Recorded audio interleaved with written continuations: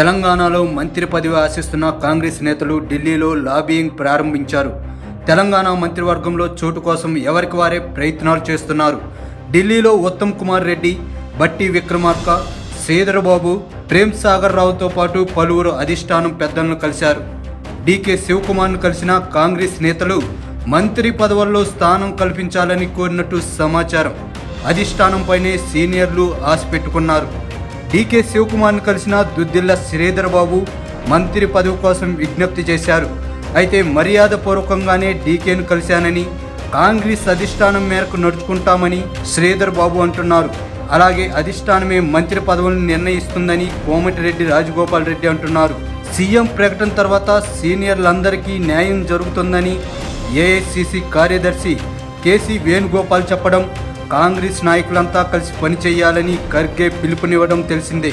దాంతో సీఎం ఆశలు గల్లంతైన సీనియర్లు ఇతర నేతలు మంత్రి పదవి కోసం పైరవీలు మొదలుపెట్టారు. ఇప్పటికే ఉమ్మడి జిల్లాల వారీగా చూస్తే పలువురు నేతలు మంత్రి పదవుల రేసులో కనిపిస్తున్నారు. ఉమ్మడి ఆదిలాబాద్ జిల్లా నుంచి మంచిర్యాల ఎమ్మెల్యే ప్రేమ్ సాగర్ రావు చెన్నూరు ఎమ్మెల్యే గడ్డం వివేకులకు క్యాబినెట్ బెర్తులు ఖాయమన్న ప్రచారం జరుగుతుంది. ఖమ్మం జిల్లా విషయానికొస్తే Madhira Congress senior MLA Bhatti Vikramarka Khammam MLA Tummala Nageswararao Paleru నుంచి గెలిచిన పొంగులేటి శ్రీనివాస్ రెడ్డి పేర్లు ప్రముఖంగా వినిపిస్తున్నాయి. వీరిలో ఎవరిని కాదనుకునే పరిస్థితి కాంగ్రెస్కి లేదు. అయితే ఒకే జిల్లా నుంచి ముగ్గురికి మంత్రి పదవులు ఇస్తారా? ఎవరో ఒకరికి స్పీకర్ పోస్ట్ ఇస్తారా అన్న చర్చ మొదలైంది. నల్గొండ జిల్లా నుంచి కోమటిరెడ్డి వెంకటరెడ్డి ఉత్తమ్ కుమార్ రెడ్డిలకు మంత్రి పదవులు ఖాయమంటున్నారు. వీరిద్దరి చివరి నిమిషం వరకు సీఎం రేసులో కనిపించిన నేతలే. ఇక రంగారెడ్డి జిల్లాలో ఇబ్రహీంపట్నం ఎమ్మెల్యే మల్రెడ్డి రంగారెడ్డి వికారాబాద్ ఎమ్మెల్యే ప్రసాద్ కుమార్లు మంత్రి పదవి ఆశిస్తున్నారు. సీనియారిటీ లెక్కలు వీరికి కలిసి వచ్చే అవకాశం ఉందంటున్నారు. ఉమ్మడి మహబూబ్ నగర్ జిల్లా కొడంగల్ నుంచి గెలుపొందిన రేవంత్ రెడ్డి ముఖ్యమంత్రి అయ్యారు. అదే జిల్లాలకు చెందిన అచ్చంపేట ఎమ్మెల్యే డాక్టర్ చిక్కుడు వంశీకృష్ణ కొల్లాపూర్ నుంచి గెలిచిన జూపల్లి కృష్ణారావు పాలమూరు ఎమ్మెల్యే మంత్రివర్గ రేసులో కనిపిస్తున్నారు.